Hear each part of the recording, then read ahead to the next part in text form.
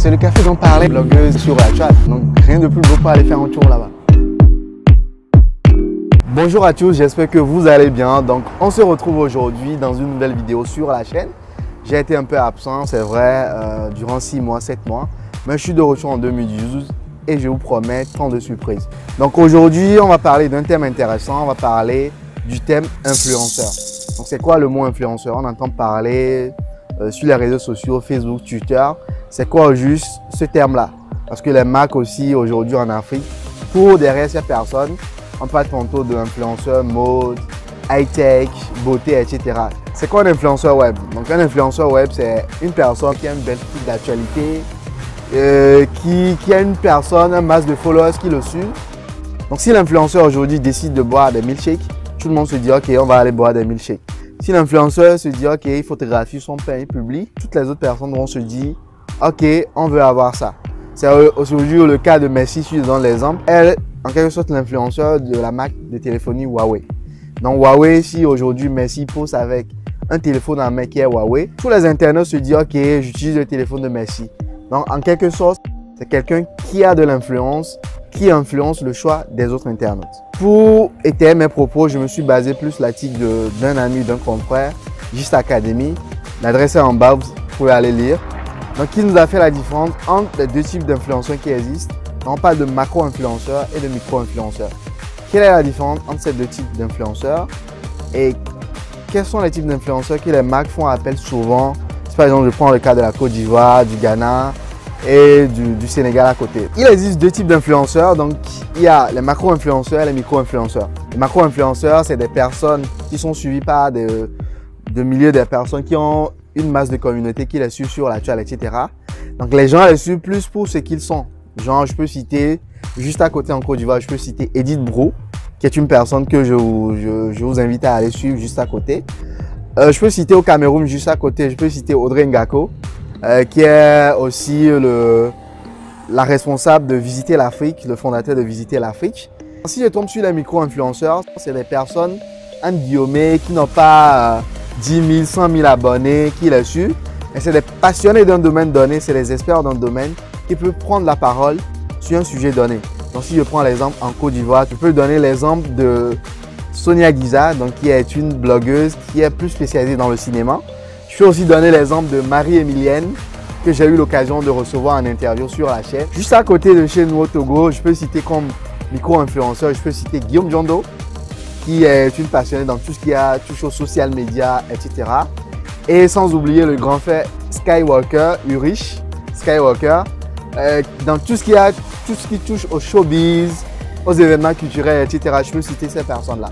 Donc le macro, c'est quelqu'un qui a plus de, de, followers, une communauté qui le suit sur la chaîne, etc. Mais les gens les suivent plus pour ce qu'ils sont. Mais si je prends les micros, les gens les suivent plus pour les contenus qu'ils publient. Je prends par exemple mon exemple, moi je suis blogueur, etc. Je prends Guillaume Jondo, il peut prendre la parole pour parler de tout ce qui touche au social media, management, etc.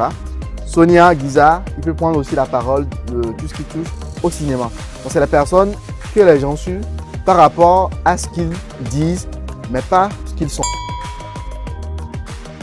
si je prends un macro-influenceur, c'est quelqu'un qu'on peut appeler aussi influenceur quantitatif. Parce que c'est quelqu'un qui a un masse de personnes qui le suivent, un très grand nombre de personnes qui le suivent. Donc c'est un argument pour lui aujourd'hui d'aller convaincre une marque de faire confiance à sa communauté parce qu'il va faire la com de son produit du produit de la marque sur son profil. Mais ce que les marques oublient aujourd'hui, c'est que quoi? C'est un couteau à double tranchant. Parce qu'un macro-influenceur, c'est quelqu'un qu'on suit, comme je l'ai dit tantôt, qu'on suit pour ce qu'il est et non pour le produit qu'il nous vend. Donc il faut toujours faire attention à ce que vous faites, à ce que vous confiez à, ces personnes-là. Je donne un exemple simple. Si l'influenceur n'est pas dans la niche, le macro-influenceur n'est pas dans la niche de l'entreprise, déjà votre com est loupé parce qu'il fait la pub pour des personnes qui ne seront pas forcément intéressées par votre produit. Le micro-influenceur, c'est quelqu'un qu'on peut appeler aussi un influenceur qualitatif. Il a une audience très ciblée. Je donne l'exemple simple. Si j'ai un micro-influenceur, je suis une marque de téléphonie, je veux lancer un nouveau téléphone, je fais appel à un micro-influenceur plutôt qu'à un macro-influenceur. Je peux faire appel à, aux deux, mais je mise plus sur les micro-influenceurs. Un micro-influenceur qui est plus dans le high-tech, qui peut parler de mon produit à son public cible. Ce que vous devez savoir aussi, c'est que le micro-influenceur peut passer de micro à macro-influenceur du jour au lendemain. Parce que s'il entretient bien sa communauté, s'il entretient bien sa cible, il deviendra un macro-influenceur. Il y aura une grosse communauté qui le suit, etc. Mais moi, ce que je conseille souvent aux gens, c'est que quand on passe de micro devenir macro-influenceur, c'est plus avantageux, c'est plus intéressant parce que on a déjà une niche, on a déjà une cible donnée.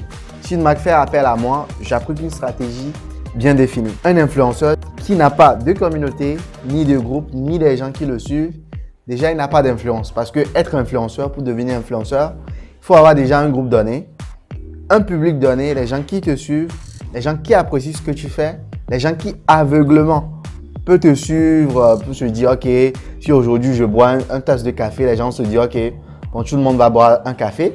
Si je dis, voilà, j'ai fait un mug spécial, le bloc de road, tout le monde va dire, il va prendre ça. Donc, c'est ce que vous voulez savoir. Donc, les marques aujourd'hui euh, doivent faire très, très attention, doivent faire appel soit à un macro, soit à un micro, ou bien combiner les deux pour une stratégie, pour une communication, pour atteindre une large audience. J'espère qu'avec toutes ces explications, vous avez compris aujourd'hui ce qu'on appelle un influenceur. Vous avez compris maintenant comment ça fonctionne, les influenceurs et les marques. Aujourd'hui, si une marque doit faire appel à un macro ou bien un micro-influenceur, il doit faire appel à ces personnes compte tenu de ses objectifs. Si l'objectif de la marque, c'est d'avoir plus de visibilité, alors le mieux, c'est de faire appel à un macro-influenceur qui est très puissant, qui a une bonne communauté, plus des micro-influenceurs qui sont dans une niche bien définie. Je tiens beaucoup à remercier le café qui m'a accueilli pour cette vidéo avec un milkshake que je remercie beaucoup. N'hésitez pas, abonnez-vous, likez la vidéo, laissez un commentaire, citez les influenceurs que vous connaissez. Parce que ma prochaine vidéo, c'est de parler des 10 meilleurs blogueurs, les 10 influenceurs clés à suivre en Afrique de l'Ouest en 2018. On se dit à très bientôt.